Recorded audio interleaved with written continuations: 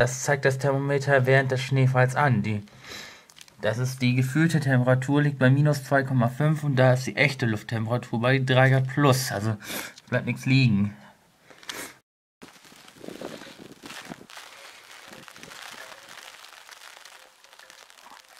you